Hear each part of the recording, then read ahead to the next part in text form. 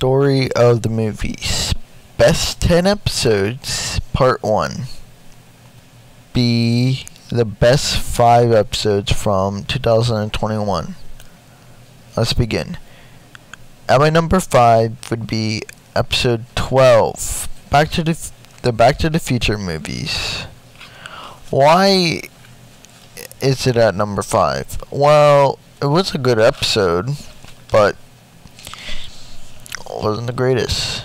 Uh, number four would be Scott Pilgrim vs. the World, episode five in season one.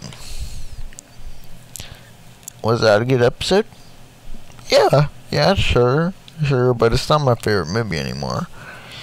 Fast and at number three is Fast and Furious one through eight, and that is episode thirteen. I I've never seen these before, but I enjoyed watching them, including 9. They were all good. Except for 8. 8 was kind of bad. Next up is at number 2 is Mission Impossible. Oh boy, oh boy. This was my first episode ever released on June 17th. I do enjoy the Mission Impossible movies, but it wasn't my best episode. Now my now at number 1 uh, of the best 5 episodes of 2021 would be the Star Trek 3 episode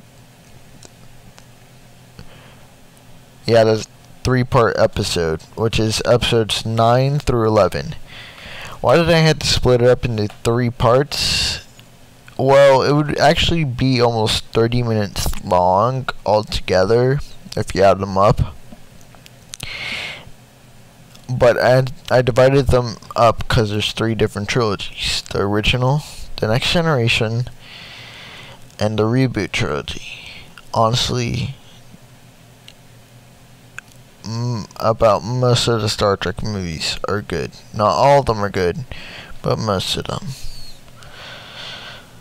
Until next time, stay safe and peace.